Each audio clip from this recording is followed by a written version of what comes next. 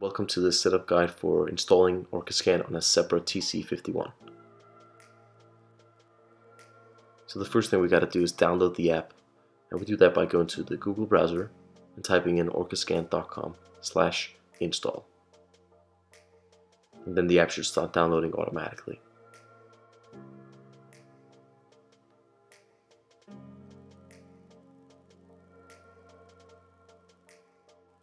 So that's the notification I've downloaded. But before I can install it, I need to go to settings and turn on the default setting to allow installation from unknown sources.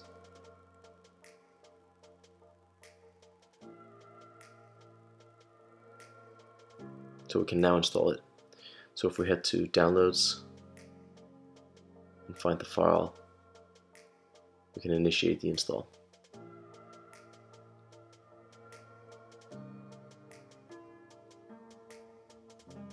That's it. So now we just need to configure the data wedge, which essentially allows OrcaScan to speak to the laser scanner and all the other features of the hardware. So we go to the profile 0, which is the default, and then we scroll down to keystroke output, which is where we're going to make some changes. So firstly, we got to make sure that it's enabled. And then we have to set the inter-character delay to 10 milliseconds. And then the last thing is under basic data formatting, the last option, where we activate the send enter key.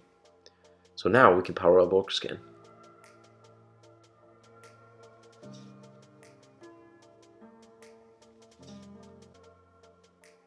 If you haven't already, we need to create an account. And then we can try to give the scanner a go here. So you can see that it captured the CN barcode here and it shows me the detail screen. But I might not always want to add details for every scan, so I can go to settings and turn off the add detail after scan setting. So let's see how that works. So now it just adds the scans to the list.